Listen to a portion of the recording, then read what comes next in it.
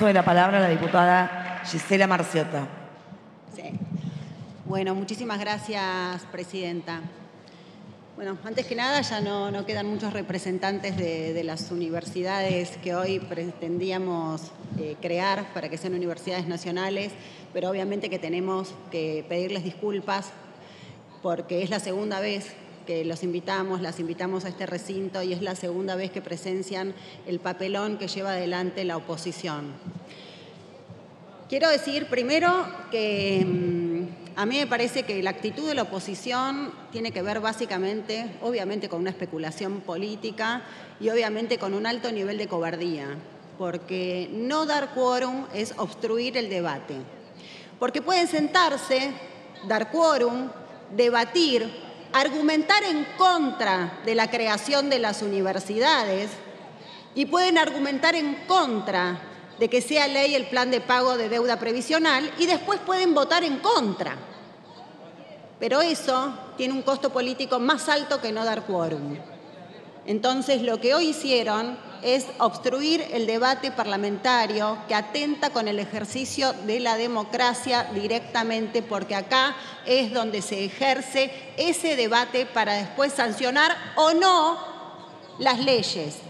En este caso, también digo que a veces pecamos de ingenuos, ¿no? Nosotros, los compañeros y compañeras del Frente de Todos, ¿no? Porque ¿por qué íbamos a creer que iban a acompañar la creación de universidades nacionales?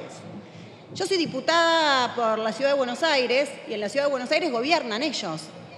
El jefe de gobierno es Horacio Rodríguez Larreta. Con solo ver el presupuesto de la Ciudad de Buenos Aires y lo que vienen haciendo sistemáticamente año tras año, donde se subejecuta y se reduce en materia presupuestaria todo lo que tiene que ver con el área de educación, de hecho si revisamos desde el año 2012 al 2023, se redujo en un 43% todo lo que tiene que ver en el área de educación en la Ciudad de Buenos Aires.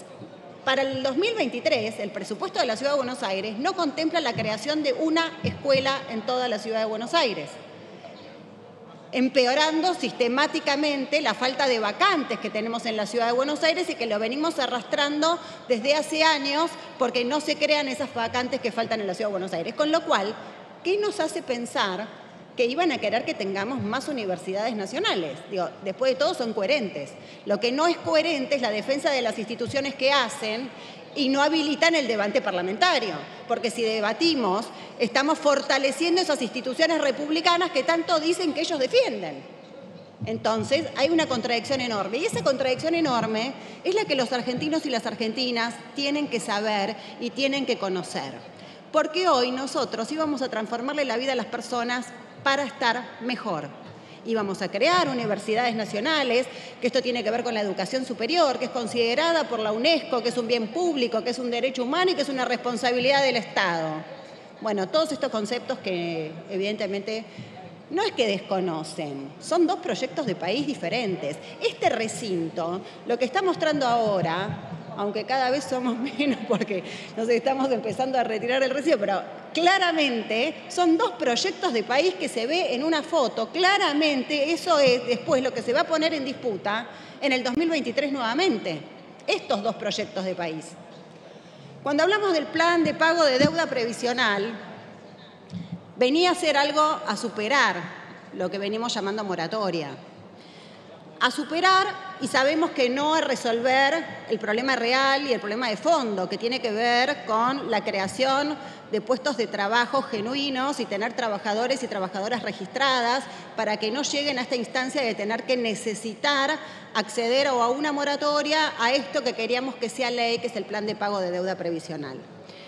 Los argentinos y las argentinas tienen que saber, sobre todo esos casi 800.000 argentinos y argentinas, que se van a quedar sin acceder a su jubilación, a su derecho a la jubilación, porque la oposición no se sentó a que nosotros debatamos e intentemos convertir en ley para que estas 800.000 personas, argentinos y argentinas, pudieran acceder a su jubilación a partir del 31 de diciembre. Faltan 10 días y se vence la moratoria que tenemos vigente gracias a un decreto presidencial que se firmó el 23 de julio porque venimos renovando decretos y queríamos establecer cierta certidumbre para aquellos trabajadores y trabajadoras que hicieron sus aportes, que hicieron sus aportes, porque después la oposición se pasea por los canales de televisión diciendo que se le regala la jubilación a gente que no hizo aporte. Falso, falso de toda falsedad. Los argentinos y las argentinas tienen que estar bien informados y tienen que saber que nadie accede a una moratoria si no tiene aportes previos hechos. Claramente el proyecto de ley de plan de pago de deuda previsional sostiene que son 120 cuotas un niño que está en primer grado puede hacer la división, una regla de tres muy simple, diciendo que claramente no son 30 años, 120 cuotas, con lo cual estamos hablando de personas que tienen sus aportes hechos. Ahora, si esa persona que tiene 20 años de aporte y le faltan 10 para poder jubilarse y no le damos la posibilidad de acceder a la jubilación, esos 20 años que aportó, ¿qué? ¿Se los desconocemos? ¿Quién se los queda? ¿Se los queda el Estado pero no recibe jubilación? Digo, qué concepto tan raro que tienen de lo que es un derecho como la jubilación, que es un derecho de trabajadores y trabajadoras. El plan de pago de deuda previsional, que lamentablemente hoy no será ley, realmente era un proyecto innovador, porque además lo que permite ese proyecto es cancelar deuda anticipadamente, antes de llegar a la edad de tener que jubilarte y no tener esa cantidad de años para poder hacerlo. Además, creaba un sistema de conciencia respecto de lo que es la solidaridad previsional y, por otro lado, también aumentaba la recaudación, con lo cual no se entiende por qué estarían en contra los de la oposición, los diputados de la oposición. Pero bueno, y lamentablemente no lo estamos pudiendo debatir, que eso me parece lo más grave a nivel institucional. Bueno, por último, quiero aclarar que estos casi 800.000 argentinos y argentinas que van a tener que esperar probablemente quizás hasta marzo. Si a la oposición se le ocurre sentarse a dar quórum en marzo, quizás para que nosotros trabajemos y que podamos sancionar esta ley, de esos 800.000 no van a poder acceder a ninguna jubilación y las mujeres, que son la mayoría de esos 800.000 argentinos y argentinas, porque siempre las mayorías de las mujeres somos las más precarizadas, quienes menos aportes nos hicieron cuando trabajamos, o quienes sufrimos más el desempleo, van a tener que esperar desde los 60 hasta los 65 sin ningún tipo de aporte de nada, no van a recibir ningún sostén de nada durante cinco años, porque recién a los 65 pueden acceder a la PUAN, con lo cual estamos dejando a muchísimas mujeres literalmente fuera del sistema.